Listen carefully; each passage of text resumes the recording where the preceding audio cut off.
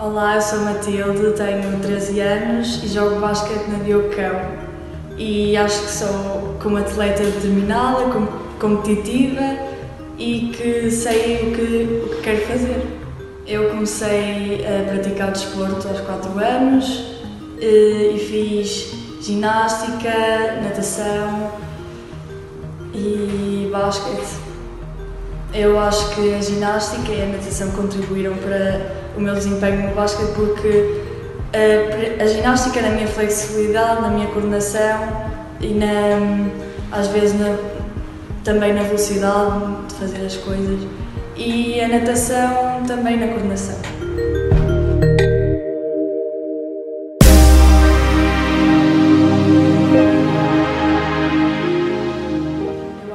Que o papel dos meus pais foi muito importante para me ajudar a, para me ajudar a desenvolver as minhas capacidades e o apoio que eles sempre me deram em todos os desportos, independentemente de qual fosse, eles estavam lá sempre para me apoiar.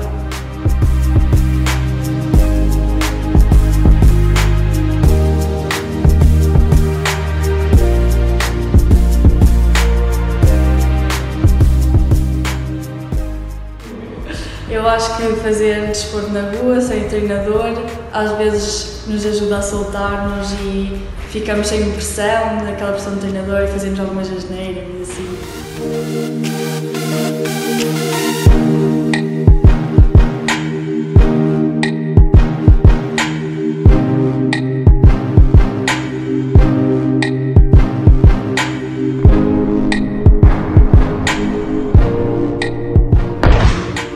Eu acho que o desporto é muito importante para a saúde porque hum, há muitas vezes, até na escola, ajuda-nos a raciocinar mais rápido e assim.